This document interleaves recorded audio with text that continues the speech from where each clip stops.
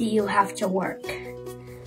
Well, Nixon, thank you for that question. As a dairy farmer, we have to work almost every day. And the cows have to be fed and milked every day of the year, including Christmas, Easter, and July 4th. It's a, it's a never-ending job. We do have enough employees here where we can take a couple days off, but there's always somebody here taking care of the cows. Hey, where does milk come from?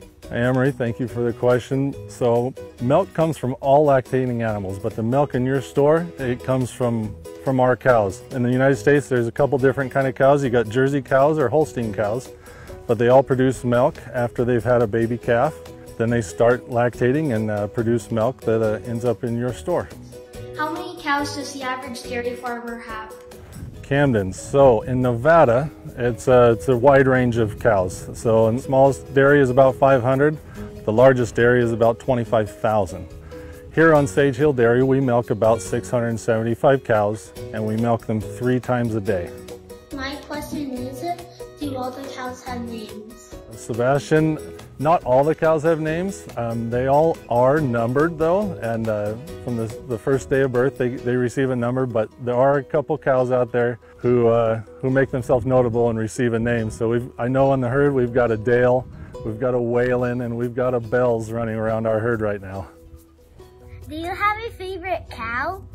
Analia, I, I always keep track of the oldest cow in the herd. And I always say that one's my favorite. Currently right now it's uh, number 5824. She's 12 years old and she has four daughters that are also in the herd.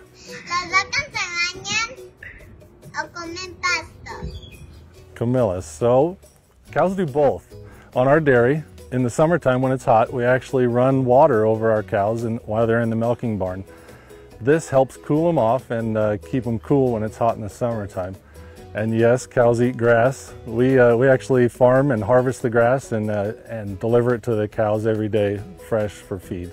Why do cows have six stomachs? Well, Elijah, cows actually only have one stomach, and that stomach has four different compartments. And what that does, it allows the cows to eat um, things that aren't edible by other animals. So our cows and all other cows can eat things that are thrown away, typically like cottonseed or almond hulls or the waste from a bakery. They can take that, digest it, and turn it into a nutritious food for us. How much milk does a cow make? On our dairy right now, our cows are making 65 pounds of milk. That is the equivalent to seven and a half gallons of milk every day. We have Jerseys, Holsteins, some Holstein herds. Those cows make 10 gallons a day. So there's a range between seven and a half and 10 gallons a day. Why do you use machines to milk cows? Well, London, so we have 675 cows on our dairy. And I don't think there's enough uh, hours in the day to milk that many cows. The cows actually really like to be milked. So when they come into the barn, they do it naturally. They don't need to be pushed or prodded or anything. We use the machines also to keep the milk sanitary. So once the machines are hooked up, that milk is now in a sanitary system to keep it clean and uh, free from bacteria. Does the milk go after the cow is milked? Eduardo, thank you for asking that question. So after the cow is milked, it goes into the pipeline, and in that pipeline, we cool it down instantly to 35 degrees. And after it's cooled, it goes into the tank here we have on the dairy. And once a day, there's a truck driver that comes and picks up the milk. And he takes that milk to milk processors such as Model Dairy or our local DFA plant where that milk is turned into bottled milk, cheese, or powder. And uh, that's gone to our local community or the powder's sent all around the world. And uh, in that process, I just want to let you know that that milk is tested four times for antibiotics or any other kind of bacteria that is not safe for human consumption.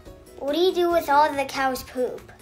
So Easton, the cow's poop, we call the cow's poop manure around here. What we do with it is we take it from the cow pen and we bring it out to the fields. And when we do that, that gives the plant nutrition to grow and it allows us to buy less fertilizer. Then we in turn harvest this crop right here and bring it back to the cows and use that to feed the cows. So it's a cycle. It, it goes from the cow's poop to nutrition for the plant, and the plant goes to nutrition for the cow.